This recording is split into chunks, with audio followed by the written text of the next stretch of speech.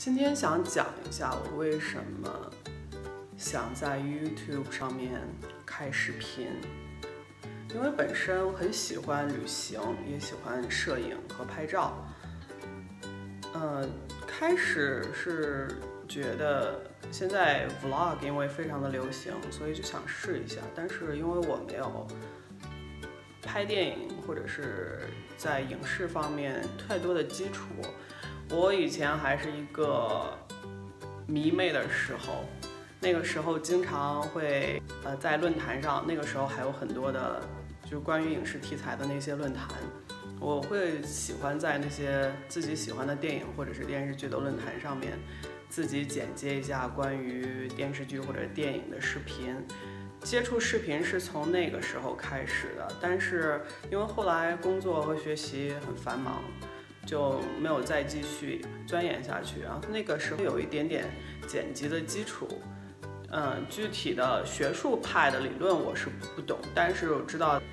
配合音乐，然后将镜头剪辑起来，就是那种感觉是有摸索出一点小的心得吧。后来就没有再接触了。嗯，今年为什么突然会想起来在 YouTube 上面开一个专属视频呢？其实我的 YouTube 上面，我在去年年底之前，我决定要开始拍 Vlog 的时候，我发现我 YouTube 其实我很早以前就开了一个账户，但是之前完全都没有用过，我只上传了两个视频，是关于我的我家荷兰猪的。还有一个是我当时还作为迷妹的时候上传了一个关于 Hellboy，就是地狱男爵做的一个粉丝做的视频，就就上传了。没想到到去年年底的时候，我看了一下，哎，我居然就第一次注意什么都没有写，就是标签什么都没有写，居然。收获了一些呃浏览量，我就说这些人是怎么，我当时就很好奇，这因为我当时完全没有在其他任何的网站或者是社交媒体上面发布，所以我就在想他们是如何能够看到，嗯，我做的这些视频。关于做一个自己的视频还是第一次，所以没有什么经验，就是自己在去剪辑或者采集素材的时候，尤其是在旅行中。我就发现是一个，其实还有很多，嗯，需要学习的地方，也是一个很繁琐的事，因为就完全不知道要剪辑什么镜头，就就一通乱剪吧，就一通乱拍，就是有什么拍什么，也没也不知道什么 A roll B roll 这样子。他决定是在 YouTube 上面开设自己的频道，是因为我接触了关于极简这个主题，并不是说我。开始才对极简感兴趣，而是我觉得极简是一个很好的主题，让我终于找到了我可以以后我会想在 YouTube 上面，或者是建立自己一个频道之后给自己的定位，大致是给自己的定位就是旅行以及极简生活。我并不算是一个严格的终极的极简主义者。啊，只是现在还是在修行的过程，所以我也很想把这种自己的经验，呃，能够通过媒体的自媒体的这种渠道，然后跟嗯跟更多的人来分享吧。因为我觉得在 YouTube 上面，现在最多大概，我觉得浏览量以及做的人数最多的，应该是关于美妆和穿搭，嗯。就是这方面题材的吧，就是对女生来说，嗯，如果不是技术或者是专业部分的话，或就是自己，呃，毫无看到的美妆和穿搭的博主，他们的视频已经非常成熟了，我觉得很棒。但是就是我觉得自己做不来那，呃，那方面，因为今天好不容易化了一个妆，等到我化完的时候。天也黑了，我就说，那我不，我不可以在我的院子里，在外面谈了，就只能用这种昏暗的、贫瘠的光线，然后就在在屋子里面做。所以对对我来说，我真的觉得这是一个让我呃，就觉得是一个很繁琐的事情。所以我之前做了两支，我也不管那么多了，就只呃只是素颜出镜，就是那么的无畏，因为我其实自己的初衷就是做一些视频来，首先是来取悦自己。因为现在上班的时候压力很大，然后很繁忙。上了一个上个礼拜的话，我一直在加班，一个呃一个礼拜五天，呃就是每天就是十三十四个小时那样子，呃就是而且是平就是工作的呃时候是其实是呃精精力非常集中的，所以很累。我回到家就呃完全没有任何的精力去做别的事情，就只是瘫在。沙发上就是看一下广告或者是电影，就片段就完全能睡着。所以我觉得就是给自己的一个解压的方式。我很喜欢画画，也很喜欢摄影，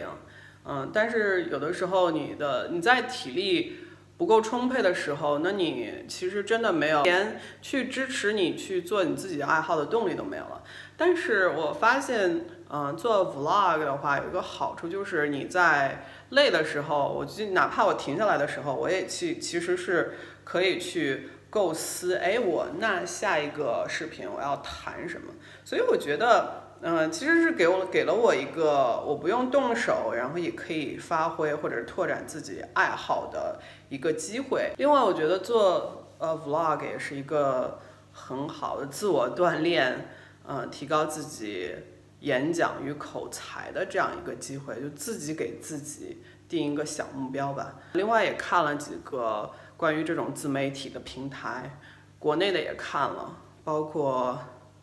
抖音啊、快手这些。但是国内的频自媒体频道的话，让我有一点，我就感觉，嗯，其实不太适合，就是你没有观众基础的初级的。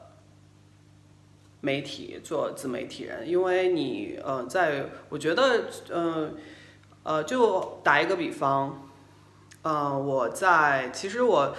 有一个视频，就是关于我旅行的视频，我发了几个，同时发了有几个自媒体的平台，我同时发了有几个呃媒体的平台，嗯，呃，其中。就是快手，呃，抖音因为我没有注册，所以其中快手就基本上它的浏览量看似很多，但是就是回复数以及点赞数就，呃，几乎完全没有。所以我就看了大概一下，就是好像，呃，就是在呃快手的那个页面上就有很多。我我让我觉得很很好奇的是，就是很出现很多就是完全类似的视频，就是一个一个主播吧，他说一段话，然后就是其他的主播也会说一样的话，或者是这个主播跳一段舞，其他的就是，我觉得就没有什么呃独创性。我觉得就是我我们在网络上来发声，或者是来说出自己的。嗯，来表现、展现自己的生活，或者是展现自己的嗯 想法的时候，你你应该是独特的，而不是随从。如果我是要看，就是像大批量的一模一样的东看，就是如果是一样内容的东西，我看一个就够了呀。而且他对嗯，就是你没有均嗯，除非是你在。你必须要在一个点上，呃，就是你必必须要定时，然后要播放你自己的东西，然后他对，而且他对，嗯，主播的上传视频的频率要求非常高。看到好多主播都是说我每天几点钟几点钟就会在呃这个主播室出现，大家一定要关注我什么的。呃，我觉得就是呃，是不是呃为了追求。呃，浏览量或者是点赞数就一定要给自己的要求有那么高呢？因为我本身还 full time 的 job，所以我不可能说每天或者是每个礼拜，然后都要在哪一个时间特别固定的做类似的内容。嗯，所以我就觉得那种压力感并不是让我很喜欢的。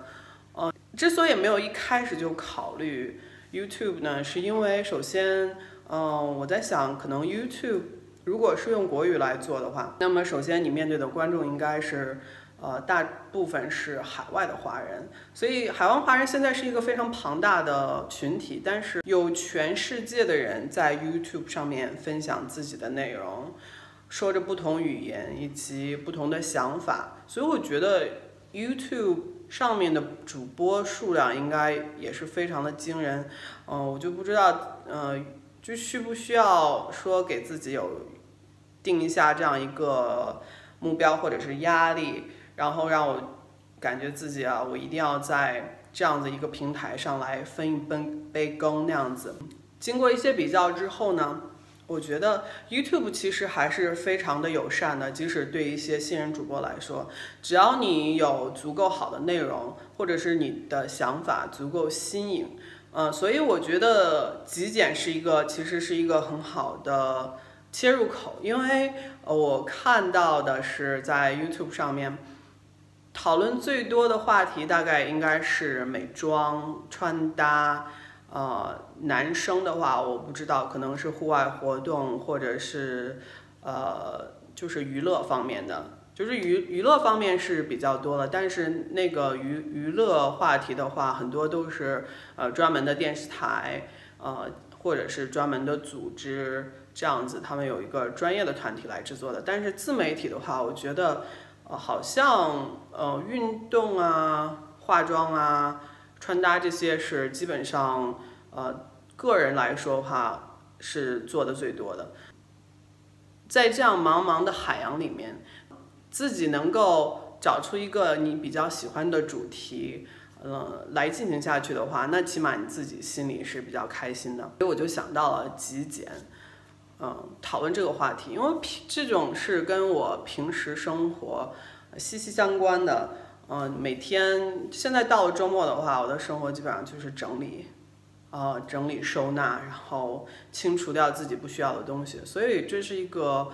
然后到了晚上再做分享一点视频，分享自己的心得，所以这是一个我自己很非常我快乐，很感感觉很快乐，很享受的过程。而且现在油管的观众量还是一直不断的在攀升，所以如果有新手想在 YouTube 上面做主播的话，其实还是一个呃非常好的平台，因为呃。YouTube 它的入门的门槛还是，其实我觉得还是相当的低的。觉得 YouTube 它的入门的门槛还是相当的低的，呃，而且对于自己来说的话，环境是一个很非常宽容的环境。你没有，如果你不是以它为作为工作主要工作的话，它并不是一个压力竞争非常大的一个环境。嗯，并且与其是和以前只是用 YouTube 来吸收。来学习知识，这次我我想用它也作为一个自己分享的渠道，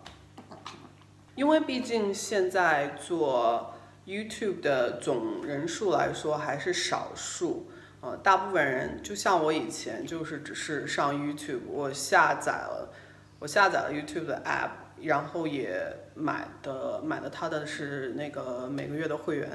可是我用它只是真的只是用来看视频。